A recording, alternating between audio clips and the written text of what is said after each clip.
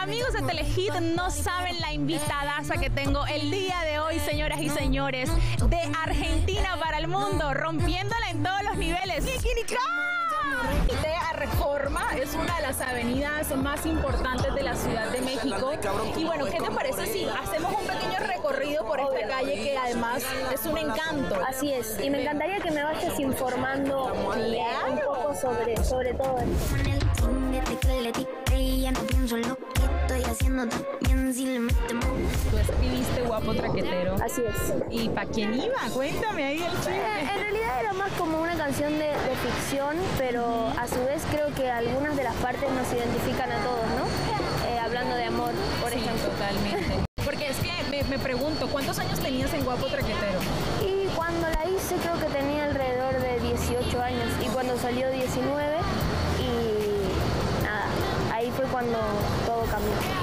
Cambió y todo está cambiando en Argentina a nivel musical porque de hace un tiempo para acá esto es una revolución, digamos. Es una revolución de Argentina, sino del mundo y de los jóvenes que estamos llevando como la música a otro nivel y a demostrar que no tiene ningún tipo de frontera, ¿no?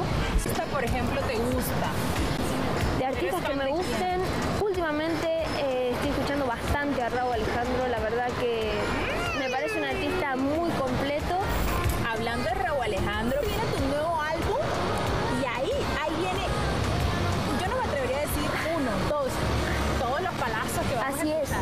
Palazo, ahorita está sonando por todos lados.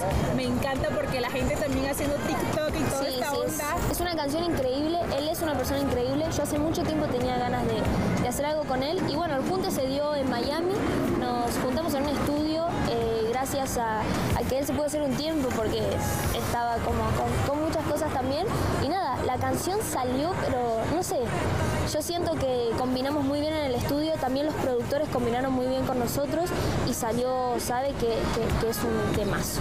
No